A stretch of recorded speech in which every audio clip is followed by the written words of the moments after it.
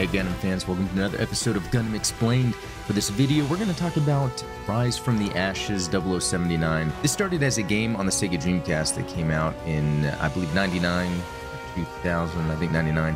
But it also saw the the story being told in other games, uh, Saturn game, Gihren's Greed, um, and even the the re-release on PS3 where they took all those side story games, kind of remastered them.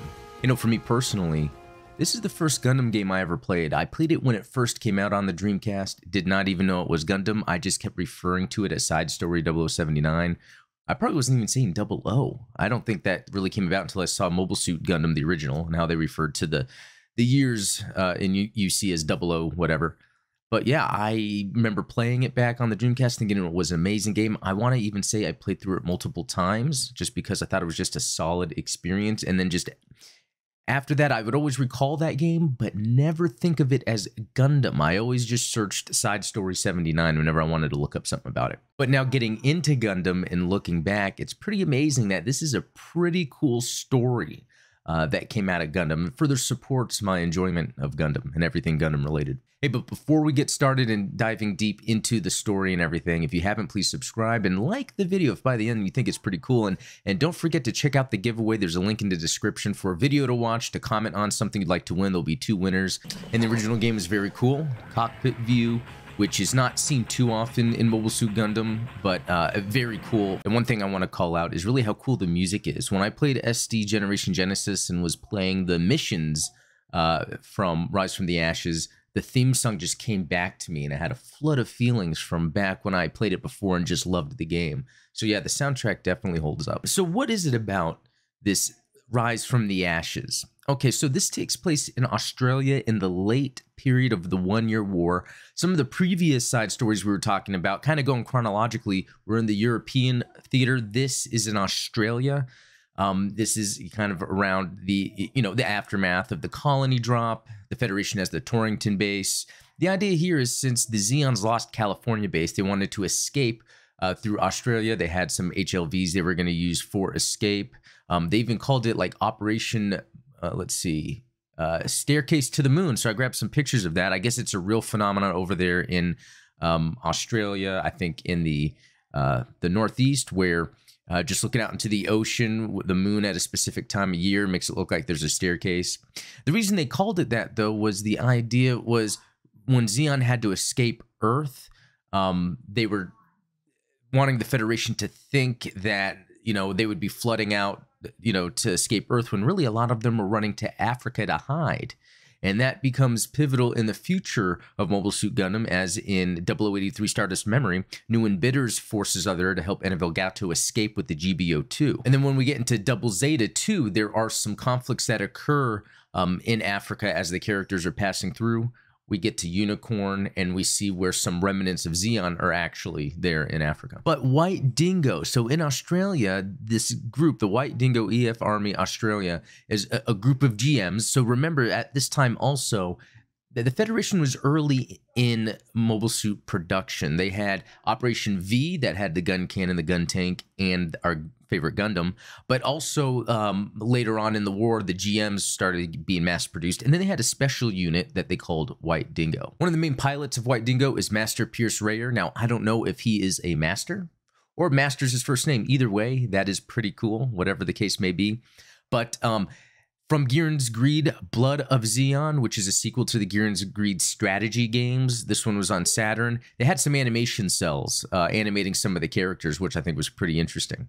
But here we get, you know, a good look at this character. Another member of White Dingo, Liang Li Fai, and here we see a character. Not too much information on him, but again, these are side stories that tell very specific story, and they haven't really been talked about too much anywhere else. Maximilian Berger, Berger um, another character, not too much uh, information on him. And then another char- character we don't hear of much, Anita Julian. Uh, she's the operator that works with them. She's actually seen in the animation in the Gihren's Greed game. Um, but other than that, not much information about her. So within the White Dingo group is, uh, uh again, these GMs or these mass production mobile suits that are modified with the White Dingo look. So we have this GM looks awesome. I like how you can go to the Gundam Wiki when you look up a specific unit, being the RGM 79 GM in this case. You can then scroll through the different variations. And here we go, the white dingo colors. Very cool. GBO2, it's available. I, I want to say that it also has the decals that you can unlock for it to kind of recreate that look. And then we have the RGC 80 GM cannon, again with the white dingo colors to kind of get a look of that. Here's the RGM 79 SPGM Sniper 2 a very cool one, a fan favorite here, but also, um, again, with the white dingo colors. Here's the RX-77D gun cannon mass production type in white dingo colors right there. Love the double barrel uh, shoulder, shoulder cannons. I like the the updated look versus what we saw in the original Mobile Suit Gundam with the gun cannon. Always appreciate that. All right, and so the Azeon pilot playing as the antagonist here is Vish Donahue. He piloted an MS-14G Gelgoog ground type here it is um, his custom right here, and we have his sort of uh, emblem decal that he uses. Also, he was in an MS-07B Gouf, and this is his custom. Um, very cool looking, kind of reminiscent of White Dingo with the lighter colors in the blue, even though it's Zeon and opposing them, but still very cool.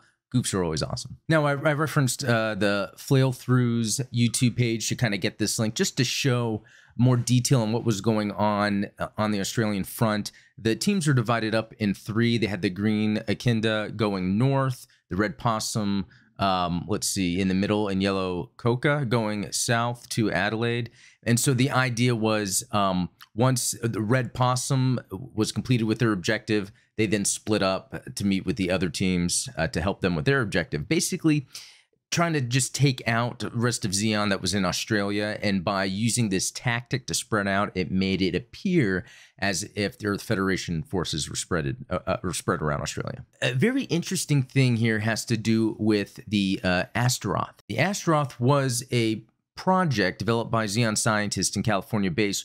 Really, the whole idea was to kind of increase uh, crop production being on the colonies, but it had an interesting side effect on Earth that it was it was causing uh, crops and, and, trees, for instance, to just grow at a rapid pace, it would be so rapid that it would take over and suffocate life on the earth. It wouldn't allow room for other organisms to grow and thrive. It would take over the resources and everything. And so their plan was Zeon scientists had left California base, went to Australia to get to the HLVs to take off and you know White Dingo had to stop them. And the Astaroth uh, used as a weapon at that point was in one of these HLVs, and it was taken out before it could leave Earth. So a kind of a cool little tidbit of information there that while all this was going on, there was this bioweapon that perhaps was going to be unleashed on Earth and could have totally decimated Earth, uh, allowing the colonies to win. And another interesting thing, I, I uh, mentioned that remake earlier that was released on PS3. Um, and it looks very good. It looks like it uses kind of that GBO2 backbone to it. It's third person though, instead of being first person in the cockpit, but it looks really good. It looks like something I'm going to want to have to play. Again, I tried emulating it. It's um, a little choppy, so eventually I'll just have to try to reacquire a PS3 and then import that game and know, be able to play these side stories. All right, so that's it with a brief overview of what is about Rise of the Ashes, uh, the side story in 0079 that, that takes place during the One Year War after the European front, closer to the end of the war, and in Australia.